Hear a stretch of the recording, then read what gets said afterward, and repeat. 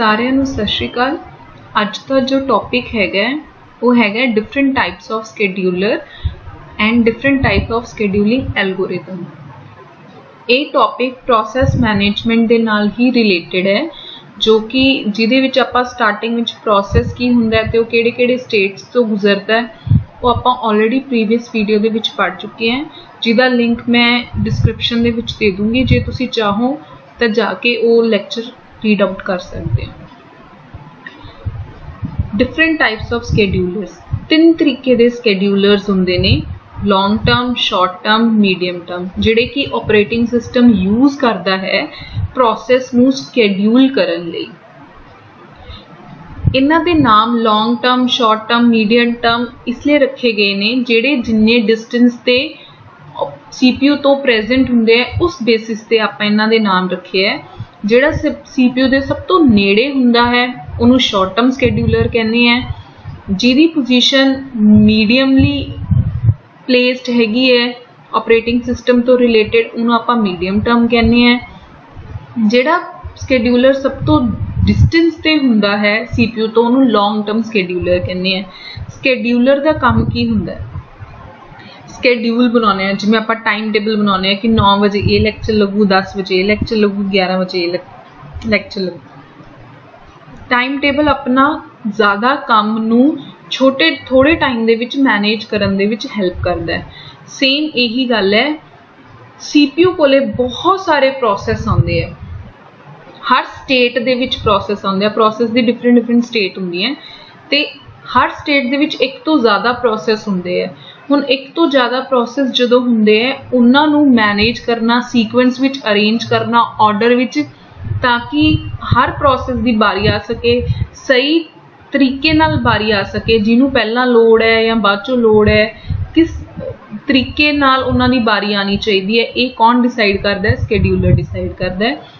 ਉਹਨਾਂ ਨੂੰ ਉਹ ਲਾਈਨ ਦੇ ਵਿੱਚ ਲਗਾ ਕੇ ਰੱਖਦਾ ਉਸ ਪਹਿਲਾਂ ਹੀ ਤਾਂ ਕਿ ਜਦੋਂ ਉਹ CPU ਕੋਲੇ ਜਾਣ, ਉਦੋਂ CPU ਸਿਰਫ ਉਹਨਾਂ ਨੂੰ ਐਗਜ਼ੀਕਿਊਟ ਕਰਨ ਤੇ ਧਿਆਨ ਦੇ। ਹੁਣ ਇਹ ਸਾਰਾ ਕੰਮ ਕੌਣ ਕਰਦਾ ਹੈ? ਆਪਰੇਟਿੰਗ ਸਿਸਟਮ ਨੇ ਆਪਣਾ ਇੱਕ ਪ੍ਰੋਗਰਾਮ ਬਣਾਇਆ ਹੋਇਆ ਹੈ, ਜਿਹਨੂੰ ਆਪਾਂ ਸਕੇਡਿਊਲਰ ਕਹਿੰਦੇ ਆ ਜਿਹੜਾ ਇਹ ਚੀਜ਼ ਹੈਂਡਲ ਕਰਦਾਗਾ।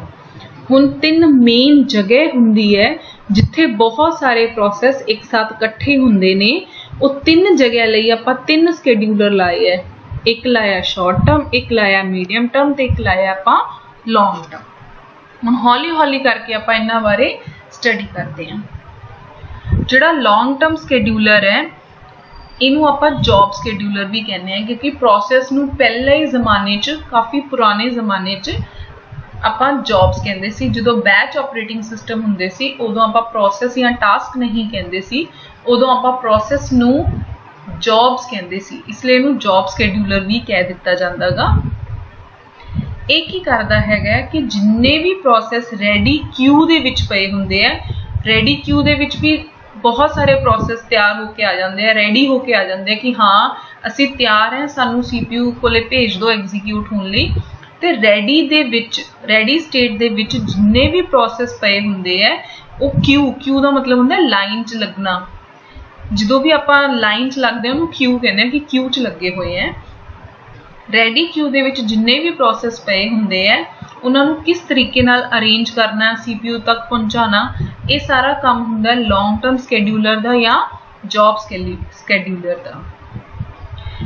ਤੁਸੀਂ ਦੂਸਰੇ ਤਰੀਕੇ ਨਾਲ ਇਹ ਵੀ ਕਹਿ ਸਕਦੇ ਹੋ ਕਿ ਉਹ ਪ੍ਰਾਇੋਰਟੀ ਡਿਸਾਈਡ ਕਰਦਾ ਕਿ ਕਿ ਪਹਿਲਾਂ ਰੈਡੀ ਕਿਊ ਦੇ ਵਿੱਚ ਜਿਹੜਾ ਪ੍ਰੋਸੈਸ ਪਏ ਹੈ, ਪਹਿਲਾਂ ਉਹ ਚੋਂ ਕਿਹੜਾ ਪ੍ਰੋਸੈਸ ਐਗਜ਼ੀਕਿਊਟ ਹੋਊਗਾ, ਬਾਅਦ ਚੋਂ ਕਿਹੜਾ ਪ੍ਰੋਸੈਸ ਹੋਊਗਾ, ਉਸ ਤੋਂ ਨੈਕਸਟ ਕਿਹੜਾ ਪ੍ਰੋਸੈਸ ਹੋਊਗਾ। ਜਦੋਂ CPU ਨੂੰ ਟਾਈਮ ਲੱਗਦਾ ਹੈ, ਉਹ ਲੌਂਗ ਟਰਮ ਸਕੇਡਿਊਲਰ ਤੋਂ ਮੰਗਵਾ ਕੇ ਪ੍ਰੋਸੈਸ ਨੂੰ ਐਗਜ਼ੀਕਿਊਟ ਕਰ ਲੈਂਦਾ ਹੈ। CPU ਤੋਂ ਸਭ ਤੋਂ ਦੂਰ ਡਿਸਟੈਂਸ ਤੇ ਕਿਹੜੀ ਸਟੇਟ ਹੁੰਦੀ ਹੈ ਰੈਡੀ ਸਟੇਟ ਹੁੰਦੀ ਹੈ ਲੌਂਗ ਟਰਮ ਸਕੇਡਿਊਲਰ ਪਿਆ ਹੁੰਦਾ ਇਸ ਲਈ ਇਹਨੂੰ ਲੌਂਗ ਟਰਮ ਸਕੇਡਿਊਲਰ ਕਹਿੰਦੇ ਆ। Medium term scheduler medium term scheduler ਨੂੰ CPU ਸਕੇਡਿਊਲਰ ਕਹਿੰਦੇ ਆ। ਦੋ ਤਰੀਕੇ ਦੀ ਸਟੇਟਸ ਆਪਾਂ ਪੜ ਚੁੱਕੇ ਹਾਂ, ਇੱਕ ਬਲੌਕ ਤੇ ਇੱਕ ਸਸਪੈਂਡਡ ਬਲੌਕ ਦੇ ਵਿੱਚ ਆਪਾਂ ਪ੍ਰੋਸੈਸ ਨੂੰ ਬਲੌਕ ਕਰ ਦਿੰਦੇ ਹਾਂ, ਉਹਦੀ ਫਰਦਰ ਐਗਜ਼ੀਕਿਊਸ਼ਨ ਨਹੀਂ ਹੁੰਦੇ ਸਸਪੈਂਡਡ ਦੇ ਵਿੱਚ ਆਪਾਂ ਉਹਨੂੰ ਟੈਂਪਰਰੀ CPU ਨੂੰ ਛੱਡ ਕੇ ਬਾਹਰ ਦੇ ਦਿੰਨੇ ਆ ਜਿੰਨਾ ਚਿਰ ਉਹ ਆਪਣਾ ਬਾਕੀ ਕੰਮ ਕੰਪਲੀਟ ਕਰਕੇ ਦੁਬਾਰਾ ਆਂਦਾ ਹੈ। ਤੇ ਇਹ ਦੋਨੋਂ ਹੀ ਸਟੇਟਸ ਚੋਂ ਆਪਾਂ CPU ਚੋਂ ਉਹਨੂੰ ਵਿੱਚ ਵਿਚਾਲੇ ਐਗਜ਼ੀਕਿਊਸ਼ਨ ਦੇ ਬਾਹਰ ਕਰ ਦਿੰਨੇ ਆ ਪ੍ਰੋਸੈਸ ਨੂੰ। ਤੇ ਹੁਣ ਜਿਹੜੇ ਬਾਹਰ ਕੀਤੇ ਗਏ ਪ੍ਰੋਸੈਸ ਹੁੰਦੇ ਆ, ਉਹਨਾਂ ਨੂੰ ਦੁਬਾਰਾ ਲਾਈਨ ਵਿੱਚ ਲੈ ਕੇ ਆਉਣਾ, ਇਹ ਕੰਮ ਹੁੰਦਾ ਹੈ ਮੀਡੀਅਮ ਟਰਮ ਸਕੇਡਿਊਲਰ ਦਾ। ਜਿਹਦੇ ਲਈ ਦੋ ਬੇਸਿਕ ਕੰਮ ਕਰਨੇ ਬਹੁਤ ਜ਼ਰੂਰੀ ਹੁੰਦੇ ਆ। ਇੱਕ ਹੁੰਦਾ ਸਵੈਪ ਇਨ ਤੇ ਇੱਕ ਹੁੰਦਾ ਸਵੈਪ ਆਊਟ ਸਵੈਪ ਇਨ ਹੁੰਦਾ ਸਵੈਪ ਆਊਟ ਹੁੰਦਾ ਹੈ ਜਦੋਂ CPU ਤੋਂ ਆਪਾਂ ਕਿਸੇ ਵੀ ਪ੍ਰੋਸੈਸ ਨੂੰ ਵਿੱਚ ਵਿਚਾਲੇ ਕੱਢ ਕੇ ਬਾਹਰ ਕਰਦੇ ਆ ਉਹਨੂੰ ਕਹਿੰਦੇ ਆ ਸਵੈਪ ਆਊਟ ਕਰਤਾ ਪ੍ਰੋਸੈਸ ਨੂੰ। ਜਦੋਂ ਆਪਾਂ CPU ਦੇ ਦੁਬਾਰਾ ਅੰਦਰ ਲੈ ਲੈਂਦੇ ਆ ਉਹਨੂੰ ਕਹਿੰਦੇ ਆ ਕਿ ਸਵੈਪ ਇਨ ਕਰਤਾ ਕਿਸੇ ਪ੍ਰੋਸੈਸ ਨੂੰ। ਕਿਉਂਕਿ ਜਦੋਂ ਵੀ ਆਪਾਂ ਕਿਸੇ ਵੀ ਪ੍ਰੋਸੈਸ ਨੂੰ ਬਾਹਰ ਕੱਢਾਂਗੇ, ਉਨਾ ਚਿਰ CPU ਖਾਲੀ ਨਹੀਂ ਬੈਠੂਗਾ। ਜਦੋਂ ਪ੍ਰੋਸੈਸ ਕੋਈ ਜਿਵੇਂ ਇੱਕ ਪ੍ਰੋਸੈਸ ਮੰਨ ਲਓ P1 ਹੈ, ਉਸ ਪ੍ਰੋਸੈਸ ਨੂੰ ਮੈਂ ਵਿੱਚ ਵਿਚਾਲੇ ਐਗਜ਼ੀਕਿਊਸ਼ਨ ਦੇ CPU ਤੋਂ ਕੱਢ ਕੇ ਬਾਹਰ ਕਰਤਾ, ਕਿਉਂਕਿ ਉਹਨੂੰ ਕਿਸੇ ਹੋਰ ਕੰਮ ਦੀ ਲੋੜ ਸੀ। ਤੇ ਉਹਨੇ ਟਾਈਮ CPU ਕਿਸੇ ਹੋਰ ਪ੍ਰੋਸੈਸ ਨੂੰ ਲੈ ਲੂਗਾ ਕੰਮ ਕਰਨ ਲਈ। ਉਹ ਪ੍ਰੋਸੈਸ ਨੂੰ ਮੰਨ ਲਓ P2 ਹੈ। ਇਹਦਾ ਮਤਲਬ P1 ਨੂੰ ਮੈਂ CPU ਤੋਂ ਬਾਹਰ ਕੱਢਿਆ ਸਵੈਪ ਆਊਟ ਕੀਤਾ ਤੇ P2 ਨੂੰ ਮੈਂ ਸਵੈਪ ਇਨ ਕੀਤਾ, ਮਤਲਬ CPU ਦੇ ਅੰਦਰ ਲੈ ਲਿਆ। ਇਸ ਪ੍ਰੋਸੈਸ ਨੂੰ ਕਹਿੰਦੇ ਆ ਸਵੈਪ ਆਊਟ ਤੇ ਸਵੈਪ ਇਨ ਜਦੋਂ ਵੀ ਕਿਸੇ ਪ੍ਰੋਸੈਸ ਨੂੰ ਆਪਾਂ ਸਵੈਪ ਆਊਟ ਕਰਦੇ ਆਂ ਇਹਦਾ ਮਤਲਬ ਉਹਨੂੰ ਮੇਨ ਮੈਮਰੀ ਤੋਂ ਆਪਾਂ ਸੈਕੰਡਰੀ ਮੈਮਰੀ ਭੇਜ ਰਹੇ ਆਂ ਤੇ ਜਦੋਂ ਕਿਸੇ ਨੂੰ ਸਵੈਪ ਇਨ ਕਰਦੇ ਆਂ, ਉਹਨੂੰ ਸੈਕੰਡਰੀ ਮੈਮਰੀ ਤੋਂ ਵਾਪਸ ਮੇਨ ਮੈਮਰੀ 'ਚ ਲੈ ਕੇ ਆਉਂਦੇ ਆਂ। ਕਿਉਂਕਿ CPU ਕਿੱਥੇ ਪਿਆ ਹੁੰਦਾ ਹੈ? ਹਮੇਸ਼ਾ ਮੇਨ ਮੈਮਰੀ 'ਚ, ਯਾਨੀ ਕਿ RAM ਦੇ ਵਿੱਚ। ਇਸੇ ਲਈ ਜੋ ਵੀ ਚੀਜ਼ CPU ਕੋਲੇ ਆ ਰਹੀ ਹੈ, ਇਹਦਾ ਮਤਲਬ ਉਹਨੂੰ ਕਿੱਥੇ ਆਉਣਾ ਪਊਗਾ? ਮੇਨ ਮੈਮਰੀ 'ਚ। ਜਦੋਂ ਆਪਾਂ ਸਵੈਪ ਆਊਟ ਕਰਦੇ ਹਾਂ, ਇਹਦਾ ਮਤਲਬ ਮੇਨ ਮੈਮਰੀ ਤੋਂ ਆਪਾਂ ਬਾਹਰ ਜਾਂਦੇ ਹਾਂ। ਜਦੋਂ ਆਪਾਂ ਸਵੈਪ ਇਨ ਕਰਦੇ ਹਾਂ, ਇਹਦਾ ਮਤਲਬ ਆਪਾਂ ਮੇਨ ਮੈਮਰੀ 'ਚ ਆ ਰਹੇ ਹਾਂ। ਤੇ ਕਿੱਥੋਂ ਆਵਾਂਗੇ? ਦੂਸਰੀ ਮੈਮਰੀ ਆਪਣੇ ਕੋਲ ਕਿਹੜੀ ਹੁੰਦੀ ਹੈ? ਸੈਕੰਡਰੀ ਮੈਮਰੀ ਇਸ ਲਈ ਸਵੈਪ ਆਊਟ ਦਾ ਮਤਲਬ ਹੁੰਦਾ ਮੇਨ ਮੈਮਰੀ ਤੋਂ ਸੈਕੰਡਰੀ ਮੈਮਰੀ ਭੇਜਣਾ ਤੇ ਸਵੈਪਿੰਗ ਦਾ ਮਤਲਬ ਹੁੰਦਾ ਸੈਕੰਡਰੀ ਮੈਮਰੀ ਤੋਂ ਮੇਨ ਮੈਮਰੀ ਦੇ ਵਿੱਚ ਭੇਜਣਾ। ਇਹ ਸਵੈਪ ਇਨ ਸਵੈਪ ਆਊਟ ਕੀਤਾ ਹੀ ਇਸ ਲਈ ਜਾਂਦਾ ਹੈ ਤਾਂ ਕਿ CPU ਨੂੰ ਕਦੇ ਵੀ ਵਿਹਲਾ ਨਾ ਬੈਠਣਾ ਪਵੇ। ਕਿਉਂਕਿ ਜੇ CPU ਵਿਹਲਾ ਬੈਠ ਗਿਆ ਤਾਂ ਇਹਦਾ ਮਤਲਬ ਆਪਾਂ ਉਹਦੀ ਯੂਟਿਲਾਈਜੇਸ਼ਨ ਚੰਗੀ ਤਰ੍ਹਾਂ ਨਹੀਂ ਕਰ ਰਹੇ, ਉਹਨੂੰ ਯੂਜ਼ ਚੰਗੀ ਤਰ੍ਹਾਂ ਨਹੀਂ ਕਰ ਰਹੇ, ਜੇ ਕਿਸੇ ਵੀ ਚੀਜ਼ ਨੂੰ ਯੂਜ਼ ਚੰਗੀ ਤਰ੍ਹਾਂ ਨਹੀਂ ਕਰ ਰਹੇ, ਉਹਦੀ ਐਫੀਸ਼ੀਐਂਸੀ ਉਹਦਾ ਕੰਮ ਕਰਨਾ, ਉਹਦਾ ਪਰਫਾਰਮੈਂਸ ਡਿਕਰੀਜ਼ ਹੋ ਜਾਂਦੀ ਹੈ।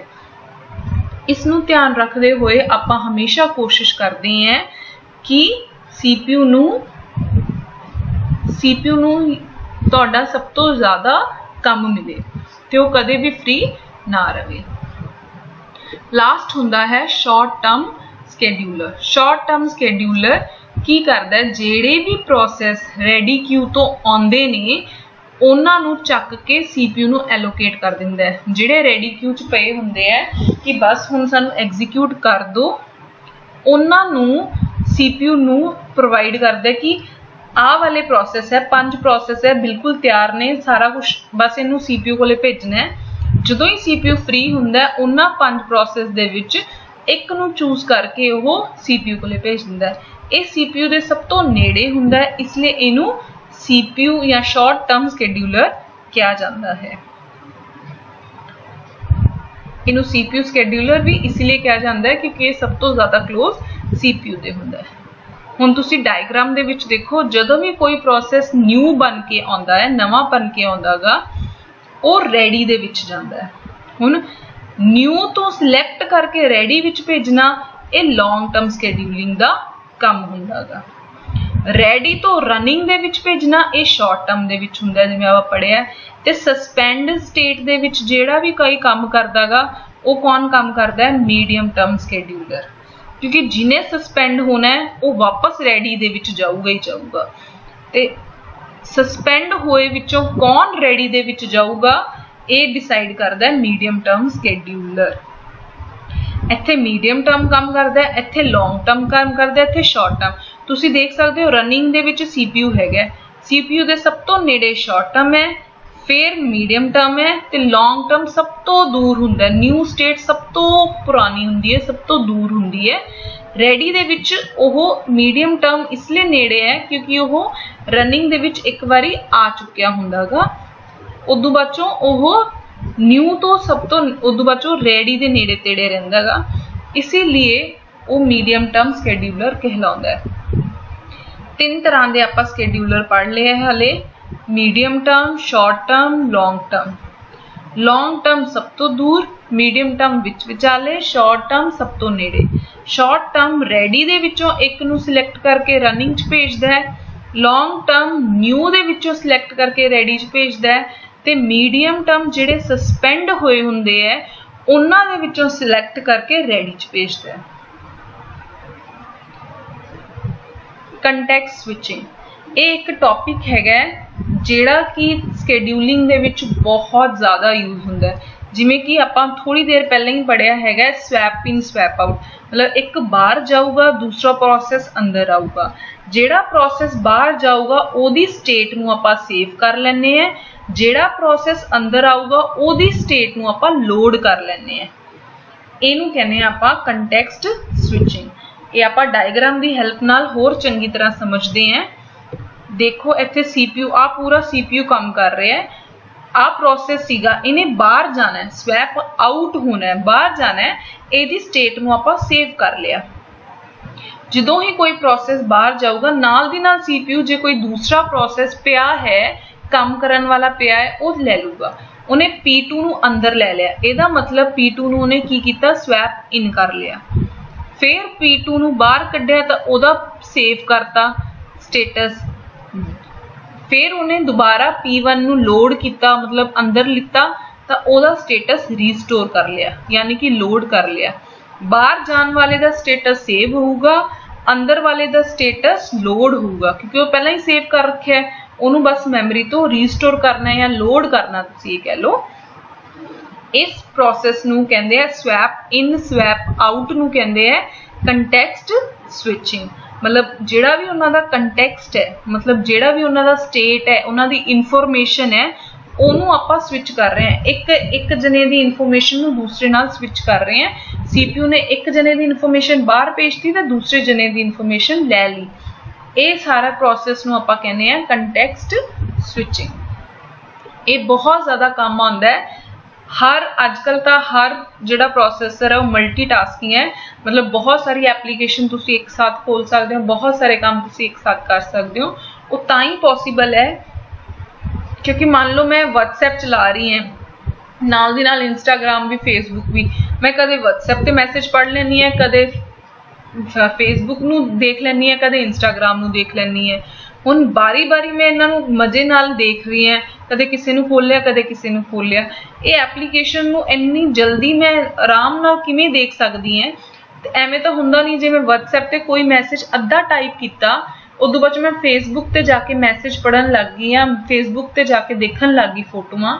ਉਦੋਂ ਬਾਅਦ ਮੈਂ ਦੁਬਾਰਾ ਆਈ ਤੇ WhatsApp ਤੇ ਉਹ ਮੈਸੇਜ ਅੱਧੇ ਦਾ ਅੱਧਾ ਉੱਥੇ ਹੀ ਪੋਜੀਸ਼ਨ ਤੇ ਸੇਵ ਰਹਿੰਦਾ ਹੈਗਾ।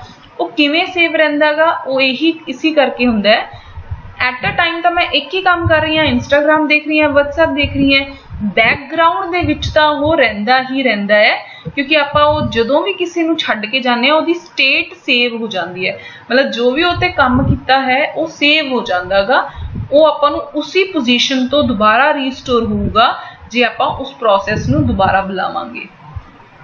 ਇਹ ਬਹੁਤ ਜ਼ਿਆਦਾ ਵੱਡਾ ਬੈਨੀਫਿਟ ਹੈ ਕੰਟੈਕਸਟ ਸਵਿਚਿੰਗ ਦਾ, ਜਿਹੜਾ ਅੱਜਕੱਲ ਹਰ ਹਰ ਡਿਵਾਈਸ ਦੇ ਵਿੱਚ ਕੰਟੈਕਟ ਸਵਿਚਿੰਗ ਹੁੰਦੀ ਹੀ ਹੁੰਦੀ ਹੈ, ਜਿੰਨੇ ਵੀ ਤੁਸੀਂ ਸਮਾਰਟ ਡਿਵਾਈਸਸ ਦੇਖੋਗੇ।